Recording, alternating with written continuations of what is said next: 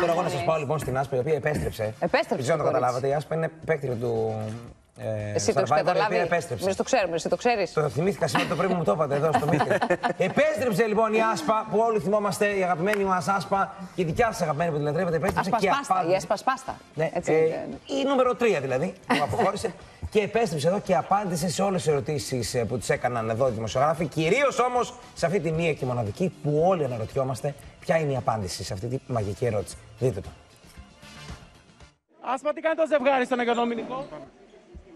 Το ζευγάρι τι κάνει στον Αγιο Δομηνικό.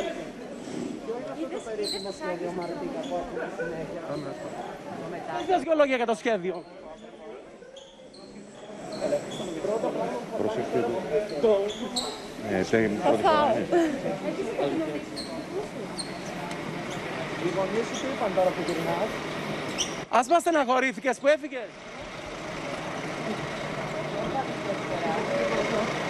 Τι μας απαντάς τόσο πολλά.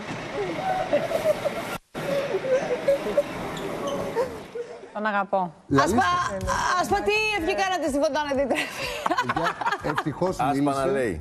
Και μας- Ασπα να λέει. Ευτυχώς μίλησε και μας έλυσε όλες τις απορίες. Εν τω μεταξύ, δεν Παιδιά, ξέρω αν αφού- προσέξατε. Είχε λίγο ξεχασμένο βλέμμα και κάτι κρατούσε και στα χέρια της. Τι κρατούσε. Ξέρετε, Πίτα. ξέρετε τι έγινε. Σουβενίρ. Με ένα άρλεκιν ξεχνιέται.